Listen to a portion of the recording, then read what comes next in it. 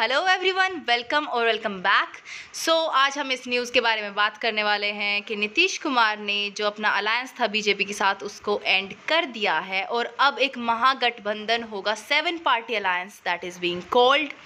तो इसके बारे में बात कर लेते हैं। This was the Zee news headline Bihar CM Nitish Kumar makes a big announcement alliance with BJP over तो जो महागठबंधन होने वाला है that is gonna be between seven parties which are JDU जिसके की 46 सीट्स हैं RJD 79 Congress 19 12 CPI 2 CPIM and as you can see total होके 164 हो हो जा रही हैं, जबकि बीजेपी की सीट्स बचेंगी फिर 77 तो बीजेपी अपोजिशन में जाएगा बेसिकली ओके okay? अभी कुछ हिस्ट्री की बात कर लेते हैं नीतीश कुमार के बारे में। नीतीश कुमार जी ने 2015 में बीजेपी के साथ अपने कोर्ट्स कट कर दिए थे और जेडीयू के साथ हाथ मिला लिए थे ओके देन अगेन इन 2017 उन्होंने जेडीयू को लेफ़्ट कर दिया। उन्होंने तेजस्वी यादव पे बहुत ज़्यादा करप्शन के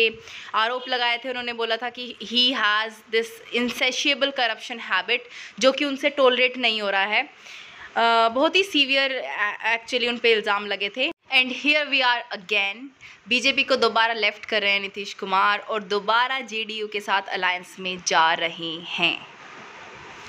अभी ये चीज़ कि नीतीश कुमार शायद छोड़ने वाले हैं बीजेपी ये काफ़ी दिनों से चर्चा में है क्योंकि नीतीश कुमार कुछ ऐसे साइंस दे रहे थे कि हाँ लग रहा था कि there are some disputes and something is gonna happen something like this तो उन्होंने क्या करा था? एक मीटिंग थी सीएम की जो कि कॉल करी गई थी अमित शाह के द्वारा कंसर्निंग आर नेशनल फ्लैग वो उसमें वो अटेंड नहीं करी नीतीश कुमार ने। देन जो फेयरवेल डिनर था रामनाथ कोविंद के लिए ऑर्गेनाइज कराया गया था पीएम मोदी के द्वारा, उसमें भी नीतीश कुमार नहीं दिखे। फिर जो नीति आयोग की मीटिंग बुलाई गई थी पीएम मोदी के द्वारा, वो भी अटेंड नहीं करी नीतीश कुमार ने। तो इन सबको देखते हुए लग रहा था कि there is something some disputes between them अच्छा ये हैं रामचंद्र प्रसाद सिंह, जो कि सीनियर लीडर हैं आरजेडी के, और ये 1984 बैच के उत्तर प्रदेश के आईएएस ऑफिसर भी हैं। हम इनको यहाँ क्यों डिस्कस कर रहे हैं, ये आपको अभी पता चल जाएगा। नीतीश कुमार को डर था कि जो अमित शाह है, वो जो महाराष्ट्र में उन्होंने कराया है एक नाथ शिंदे से, वही सेम रिपीट होने वाला है बिहार में। और यूज़ करा जाएगा आरसीपी सिंह को अगेंस्ट नीतीश कुमार ये डर था नीतीश कुमार को एक्चुअली जैसे कि एक नाथ शिंदे ने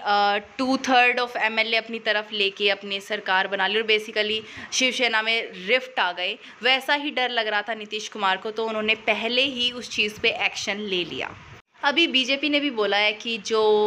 नीतीश कुमार है, उन्होंने बिहार के लोगों को धोखा दिया है and he is someone who is willing to trade his principle for power मतलब उनके लिए उनके प्रिंसिपल्स उनके सिद्धांत कुछ नहीं है when it comes to power when it it comes to the greed of power okay so this was the news for you all guys I hope you like this video if you like it please give it thumbs up and subscribe to my channel and I'll see in the next video till then stay happy healthy and bye